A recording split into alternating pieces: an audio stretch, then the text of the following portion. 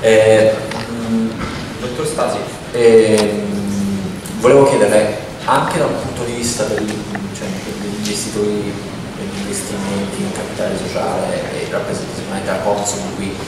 eh, c'è un fenomeno che ormai è diventato importante che è quello della fintech, cioè la tecnologia finanziaria che vede sempre di più prodotti anche di investimento eh, offerte attraverso app, attraverso siti eh, voi so che insomma, siete molto attenti a monitorare questo, questo fenomeno. Allo stesso tempo e questa è la seconda domanda che le faccio e se le va di rispondere eh, avete regolamentato con molta attenzione questo è un punto assolutamente meritorio da questa attività recentissima il fenomeno dell'equity dell crowdfunding quindi magari ci vuoi raccontare come il social sta agendo anche nel vostro spettro d'azione? Intanto grazie per l'invito, cercherò di non abusare della pazienza dell'auditorio dove siamo ormai quasi fuori tempo massimo. Un paio di considerazioni rapidissime di carattere generale. Vent'anni fa, non un secolo fa, le contrattazioni in borsa si facevano in, luogo, in un luogo fisico, cioè la piazza finanziaria, c'era un recinto in cui c'erano gli agenti di borsa, la Cordei si chiamava il recinto Allegrina e poi fisicamente con dei foglietti in mano eh, gridando eh, ai loro collaboratori, facendo segnali strani, gesticolando, eh, organizzavano il mercato di borsa. Quindi senza eh, solo il telefono, ecco la rotella di cui parlava eh, prima Camanzi, era l'unico diciamo, mezzo che li collegava al, al mercato inteso come lo intendiamo adesso. Eh, vent'anni fa il mercato telematico ehm, per cui eh, è iniziata la rivoluzione tecnologica che ha cambiato tutto, veramente eh, le piazze sono diventate appunto piazze telematiche, l'innovazione tecnologica ha impresso una eh, spinta velocissima all'innovazione finanziaria per cui eh, sono arrivati nuovi prodotti finanziari, nuove opportunità, eh, la piazza è diventata una piazza veramente, veramente globale. Eh, prima ecco, di andare sul, eh, a rispondere su due eh, eh, argomenti che, che, propone il nostro moderatore, un'ultimissima considerazione sulla, sulla finanza in genere che è diventato un fenomeno così globale e spesso quasi eh, minaccioso, così come ce lo descrivono anche le cronache eh, di tutti i giorni. Eh, invece la finanza come ce la insegnavano appunto un tempo fa i libri di testo era uno strumento che serviva a mettere a disposizione il risparmio di chi aveva le migliori idee in modo da poter in qualche modo poi dare un contributo importante all'economia reale negli ultimi anni, proprio in virtù di questa mega innovazione tecnologica, eh, la globalizzazione, quindi la, la, la, il movimento di capitali in tempo reale, ha eh, sostanzialmente allontanato questa eh,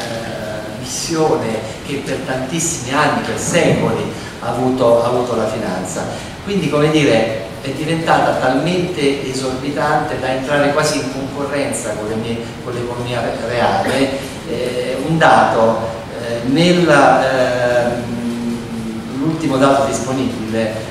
993 eh, mila miliardi di dollari, eh, anzi, una cosa ancora prima, 75 mila miliardi di dollari è l'ammontare del prodotto lordo mondiale nel 2013. 993 miliardi, mila miliardi di dollari è l'ammontare di tutto quello che la finanza muove. Di questi 993 mila miliardi, solo 283 mila sono la finanza tradizionale, cioè azioni, obbligazioni, attivi bancari. 710 mila miliardi è la finanza, diciamo così, eh, derivata. Quindi, come dire,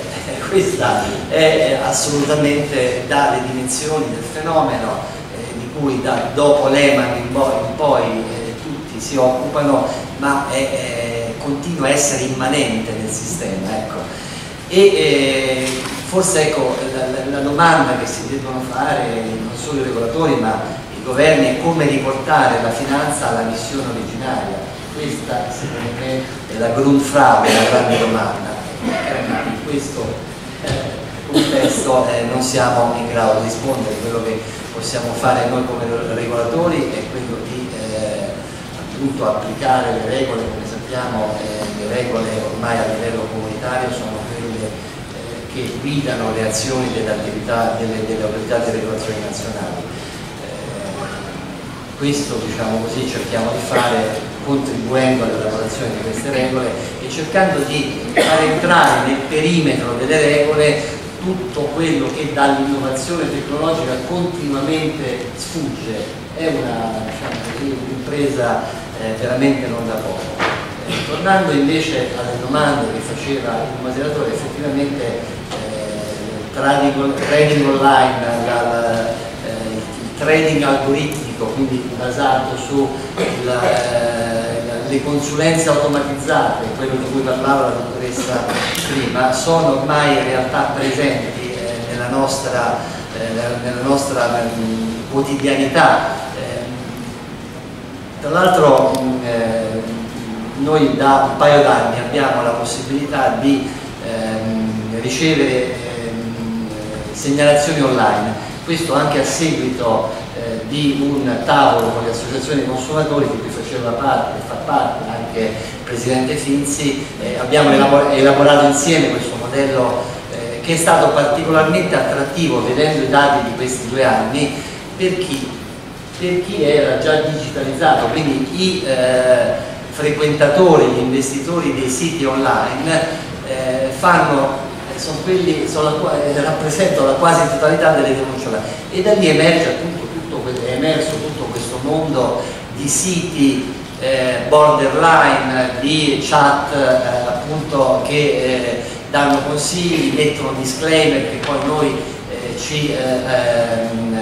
subito denunciamo, nel senso che comunque dal punto di vista regolatorio tutto quello che si muove in rete automaticamente rientra dal nostro punto di vista nelle regole, quindi eh, anche eh, se un, uh, un, uno che si definisce non professionista ha una chat online è tenuto comunque a rispettare una serie eh, di, di, di, regole e quindi è passibile di essere accusato di manipolazione di mercato da parte nostra. E, mh, eh, noi grazie anche a questo eh, monitoraggio fornito dai stessi operatori investitori che lavorano, eh, che, che, che, in qualche modo operano online, abbiamo controllato, controlliamo circa ogni anno sui 300 siti, eh, di cui 150 eh, ne, rileviamo le regolarità, un centinaio li segnaliamo anche all'autorità giudiziaria, perché eh, spesso ci sono anche eh, dei profili penali e non solo amministrativi. Quindi ecco, devo dire che questa è stata una felice ehm, interazione tra eh, associazioni dei consumatori e autorità di regolazione perché ci ha permesso poi di eh, ideare uno strumento eh, molto utile ed efficace. Per quanto riguarda il crowdfunding effettivamente siamo stati i primi in Europa regolare questo fenomeno, l'abbiamo regolato nel 2013 per la prima volta con maglie un po' strette, eh, tant'è vero che poi già a primavera di quest'anno li abbiamo iniziato ad allargare anche a seguito di una ulteriore consultazione che abbiamo fatto con gli operatori del mercato. Un po' di dati eh, rapidamente per chiudere. Abbiamo il eh, crowdfunding, noi l'abbiamo regolato regolando sostanzialmente i portali che possono essere autorizzati dalla Consul e controllati dalla Consul. Attualmente ci sono 15 portali eh, internet eh, dedicati all'equity crowdfunding che fa il portale. Il portale sostanzialmente quello che aiuta l'idea ad incontrare i soldi, eh, quindi il giovane start-up, eh, magari ecco, segnaleremo anche a Camanzi questa possibilità di indirizzare pure verso i portali eh, crowdfunding qualche buona idea, ehm, appunto li aiutano a presentare, a fare un video di presentazione qualora il gestore del portale ritiene di eh, avere, essere in presenza di un'idea interessante. E di, di, di, in questi due anni ci sono stati circa 50, eh, di cui una decina in corso, di tentativi di, raccogliere soldi perché una delle regole è che una volta che stabilisci un target o lo raccogli tutto oppure eh, fallisce la, la, la, e quindi vengono diciamo così, restituiti i soldi a chi aveva sottoscritto. Eh, genere appunto ci sono 10 offerte ancora online, 20 sono fallite, 20 sono riuscite, la media eh, della raccolta sui 300.000 euro, quindi una raccolta di 6 milioni. Non è moltissimo, ma 300.000 euro per, eh, per uno start-up è una cifra che può essere interessante. Eh, noi stiamo continuando a, a, vedere come man mano allargare le maglie della, della regolazione in modo da poter poi consentire eh, diciamo così, una sempre maggiore eh, popolarità dello strumento. Grazie.